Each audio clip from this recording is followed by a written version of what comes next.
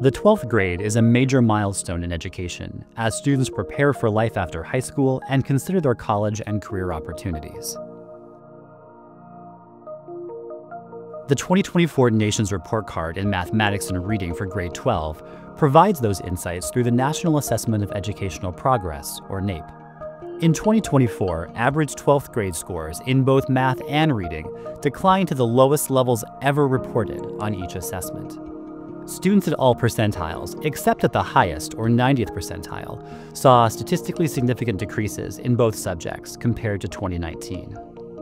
Between 2019 and 2024, the average grade 12 math score declined 3 points. And the gap between the highest and lowest performing students widened. 45% of students scored below NAEP Basic in Math, the highest percentage ever below this level. That means that students likely cannot apply their knowledge of percentages to solve a real world problem. This story is not unique to grade 12.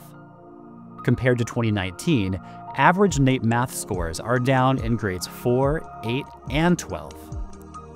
And gaps are widening at all three grades between the highest and lowest performing students. In reading, the average NAEP score declined 3 points since 2019. 32% of 12th graders scored below NAEP Basic in reading, the largest percentage ever reported below this level. This means that about a third of students likely cannot draw general conclusions based on concepts presented explicitly in a text. This downward trend is not limited to 12th grade. The 2024 Nations Report Card showed average reading scores are also down in grades 4 and 8. But how do these scores at the end of students' K 12 experience translate to what's next for them? Are students ready for higher education?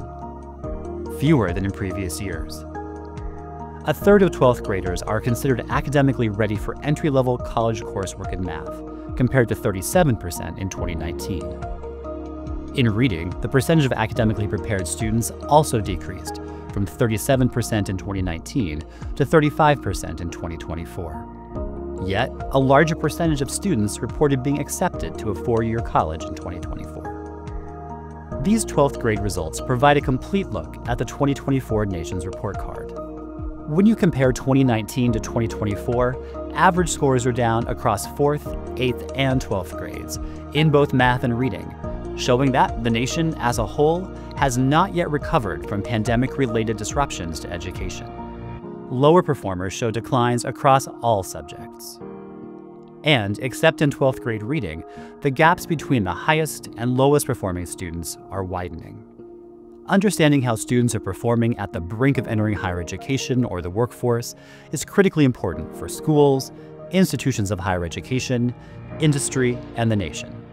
For more information on these results, visit www.nationsreportcard.gov.